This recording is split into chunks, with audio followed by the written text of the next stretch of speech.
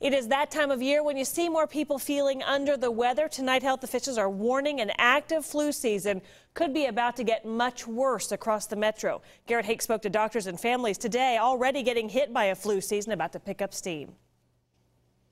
Coughing and getting worse Christmas Day, and went in, um, I think, to the emergency room actually, and found out that she indeed had the flu. Mindy Waldron's family is already feeling this flu season firsthand.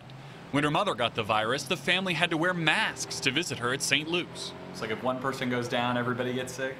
Sometimes, sometimes. um, you know, usually if one kid gets it, the other kid gets it. So I'm hoping we can stay away from that. This week, Kansas health officials warned a flu already widespread here is about to get worse, advising hospitals to prepare for an influx of patients with a more severe illness. And the CDC says this year's flu is hitting young and middle aged adults too, not just children and the elderly. It's the, the fevers, uh, just the muscle aches, a lot of upper respiratory symptoms this year, and, and just generally the feeling really bad.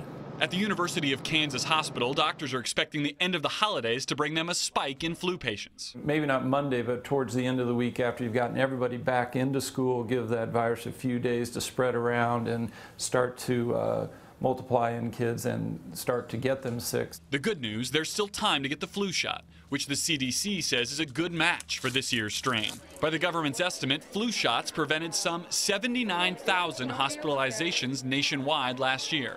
That's 3,000 more people than fit in Arrowhead Stadium.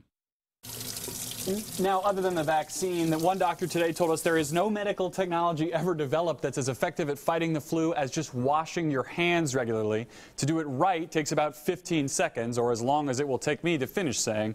Reporting live, Garrett Hake, 41 Action News.